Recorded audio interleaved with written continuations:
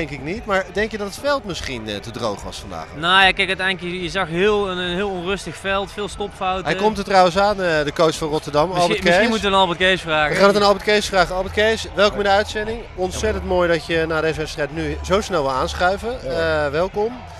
Ja, eh, geen finale plek. Hoe, eh, hoe zuur is dat voor jullie? Ja, dat is heel zuur.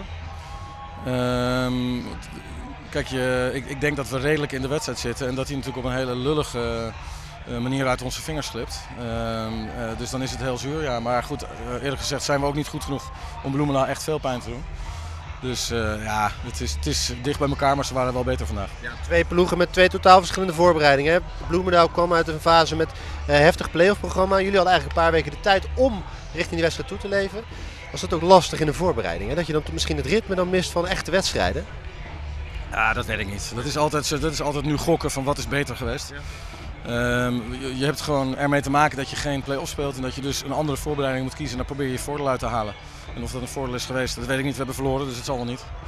Hey, la- als ik naar de wedstrijd kijk, ik vond het heel onrustig. Ik, vond het, ik had er te veel stopfouten waar balletjes die wegsprongen.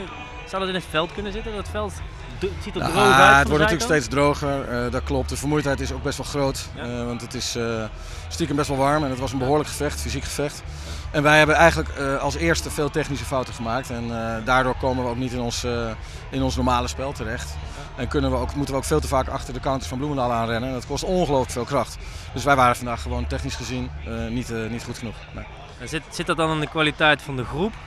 Of gewoon in het, in het moment en de vorm? En... Ja, nou ja, goed. eh, eh, allebei een beetje. Kijk, we hebben natuurlijk spelers die horen tot de allerbeste technisch gezien van de wereld. Ehm, eh, en daar zie je ook heel lang een heleboel dingen goed gaan. We hebben ook wat spelers die daar nog niet zijn. Eh, misschien heeft het met ritme te maken, ik weet het niet. Het droge veld, het zal allemaal wel. Uiteindelijk wordt het een oorlog. Ja. En eh Bloemendaal had ook zo zijn problemen met de techniek en Ja, ook met, eh, ja. met de fysiek. En dan wordt het een oorlog en die oorlog hebben we niet gewonnen. Dus, eh, ja. En uh, KO16 in Rotterdam heb eigen bodem lieten jullie zien in de oorlog juist te kunnen excelleren. Hè? Juist in die laatste 30 seconds wisten jullie wedstrijden te winnen. Door hier dan uiteindelijk te komen te staan. Wat nu rest is dan morgen een plek om eh, een strijd om plek ja, 3-4. Is het niet, niet, niet, niet de wedstrijd die je graag speelt, denk ik, Albert Kees? Ja, dan krijg je weer het gelul, eh, sorry hoor, maar van jullie. Het is geen wedstrijd die je wil spelen. Het is gewoon een medaille. Dus natuurlijk willen we die spelen.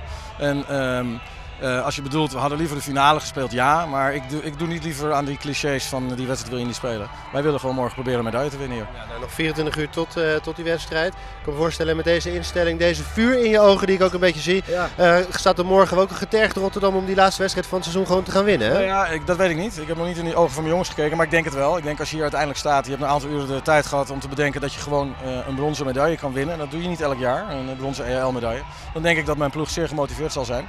Eh, en op dit moment zie ik dat ze aan de overkant eh, teleurgesteld staan en dat begrijp ik ook. Maar morgen zullen wij wel weer goed zijn. Ja, wat ga je er als coach aan doen hè? om de jongens dan morgen uit die teleurstelling te trekken en morgen gewoon eh, vol spirit hier het veld op te laten, laten stappen?